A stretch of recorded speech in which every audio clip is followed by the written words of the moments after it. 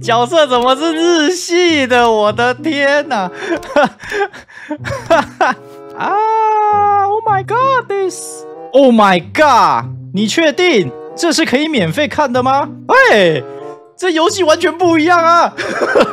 我开头五分钟就很明显的感受到这两个是完全不同的游戏啊！差低。Yeah！Yeah！呀！GTR，我来了！喜提 GTR，点击领取。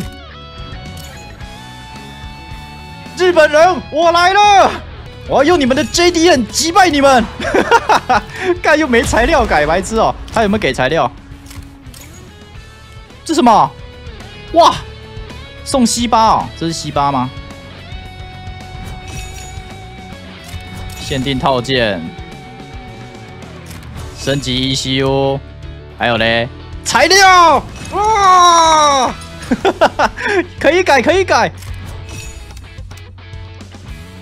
三选一，在这里我只相信 JDN，所以，哈哈哈哈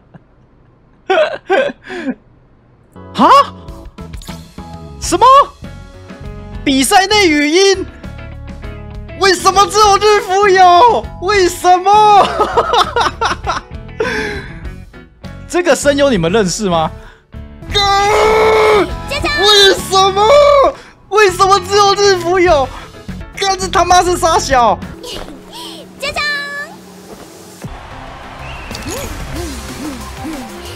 哈哈，我的角色是他妈从别的次元来的啊！遥遥领先的日服。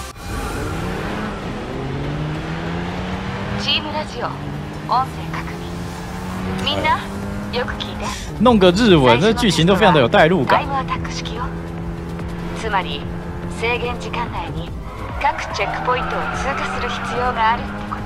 嗯，这个开起来跟台服是一样的。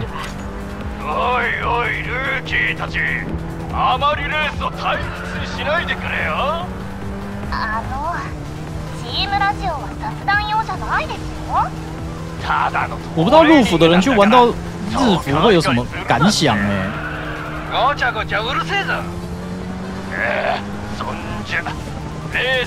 感觉他们会说一些很难听的话，特别是就是 JDN 增强这个部分，感觉吧。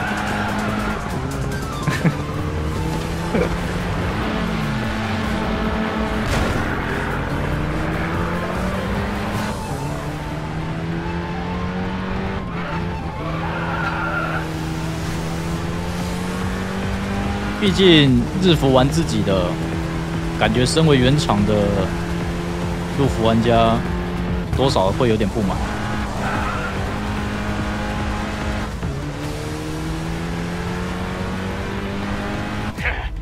さっきは俺が油断した。でなきゃお前にチャンスなんてあるわけねえよ。这个尼克很有那个大叔的味道。 好有 feel 自配。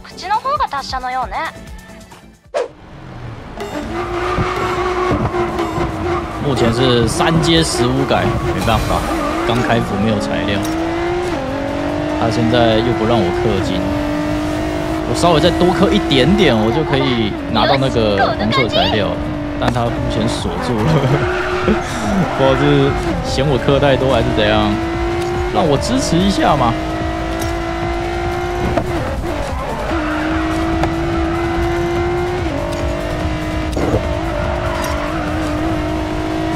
这开起来真的很像雷文顿哦，它就是，呃，整个动态都是很稳的。可是呢，你在甩尾的时候，它又推头又外抛这样子，就很显然是因为它加速太快了之类的。然后日服好像不用点 A Y C，它好像跟日陆服一样，不用点 A Y C。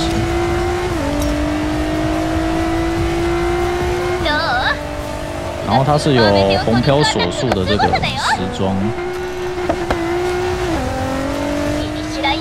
但我觉得这个红飘锁速有没有时装，好像开起来都差不多啊。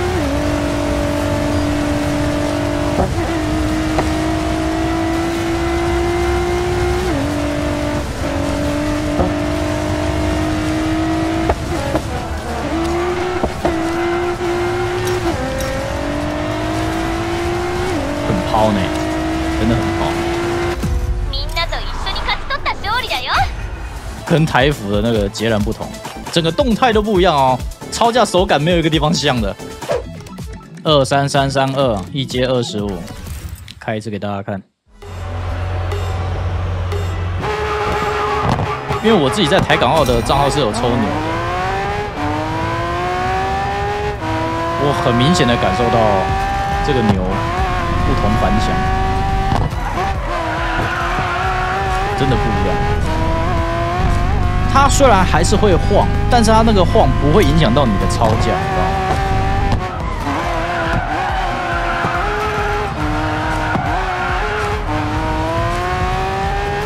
玩起来是舒服的，那个跳波也不会马上跳出去就接一个黑漂，而且密码是二三三三二，没有说还要去弄什么一一一一啊什么的，没有，对，这人的问题。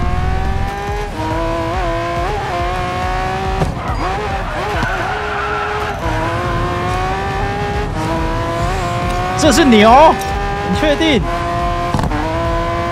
哎呦，抓地力好强！你看都不会黑漂，我这边左右左右也没有黑漂，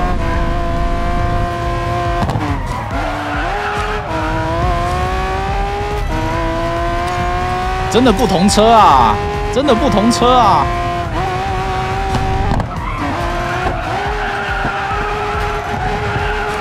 问我最清楚了，因为台服的牛我根本开不了啊，我还抽了三阶呢，有够难开的。这里的牛不一样啊，是可以好好开的，是不是？你看，人的问题。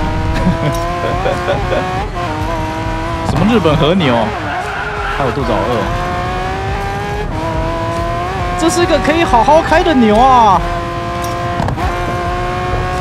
还是因为这是 S One？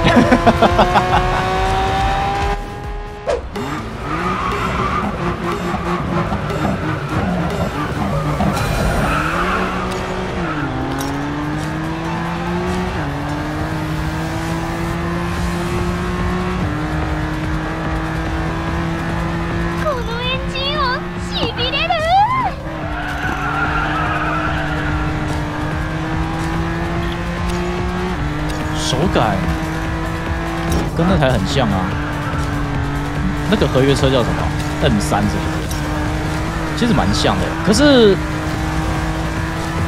它的车身又比 M 三稳定一点，看起来好像有点晃，对不对？实则其实是蛮稳定的。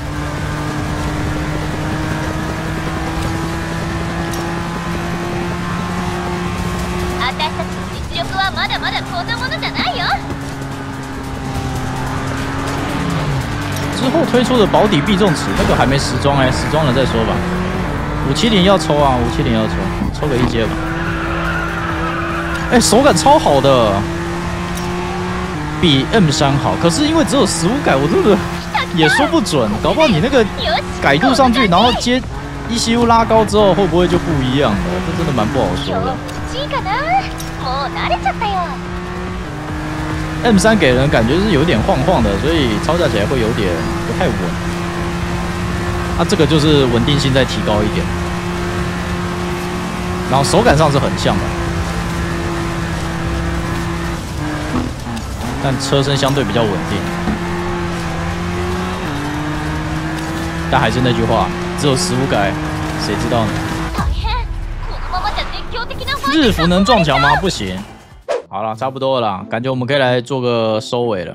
日服目前玩下来的评价，死勾引，真的是死勾引。身为一个海外服，可以弄得像原厂服一样，除了死勾引之外，我也不知道该说什么了。那喜欢大牛的，我觉得你一定要来日服开开看，是一台好开的车。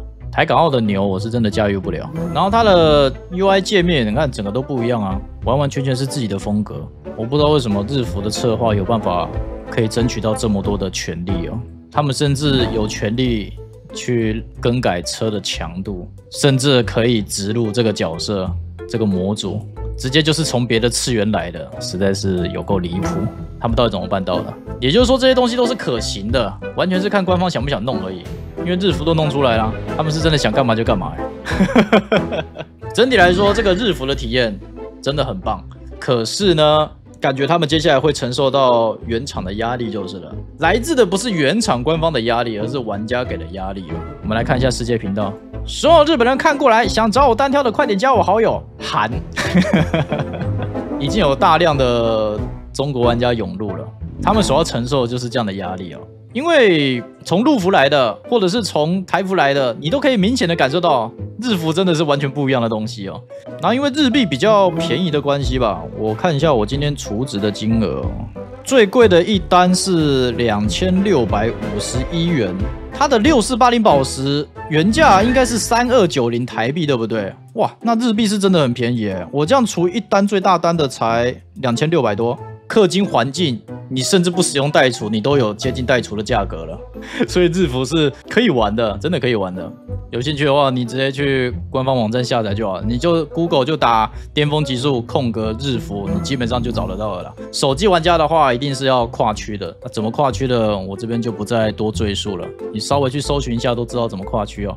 反正我都氪了，我也会持续帮大家观察看看日服到底值不值得玩呢？你们只要知道这一期的成本有点高，麻烦看完影片可不可以帮我点个赞？这一集成本太高了。